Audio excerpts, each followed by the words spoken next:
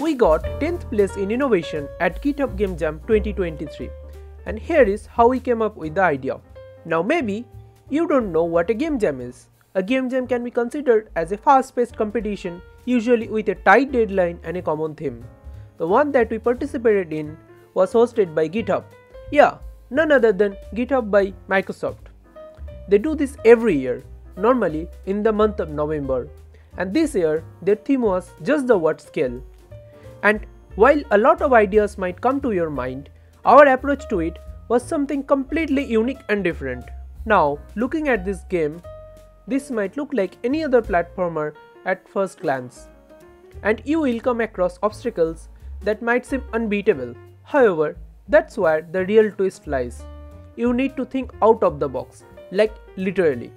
Ascend your 2D consciousness to the next level of the reality and take control of the 3D environment to skew the scales of the obstacles as required to complete the challenges. So at first, after a few days of discussion about the art style and gameplay, we began working on our game. I took upon the task of creating the movement and other interactions of the 2D player character, as well as the level design. On the other hand, Kash focused on creating the scaling mechanism between the 2D and 3D obstacles.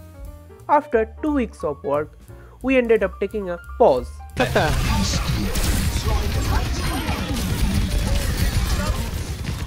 Duker, Duker, Duker, Duker, Duker, Duker, Duker, Duker, Duker, Duker.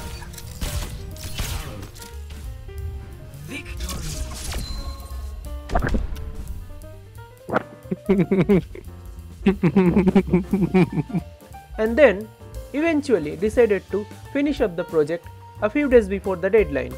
This included me picking up some music from the Unity Asset Store and gluing it to our project, while Kash worked on creating an actual UI for the game. And that's it, our concept game was done. The entire project was the result of weeks of effort, and the numerous comments and replies on the itch.io page felt good and made us feel appreciated. It was nice to see that people were playing our game. So yeah, 10th in innovation. Not bad for our first game jam, right?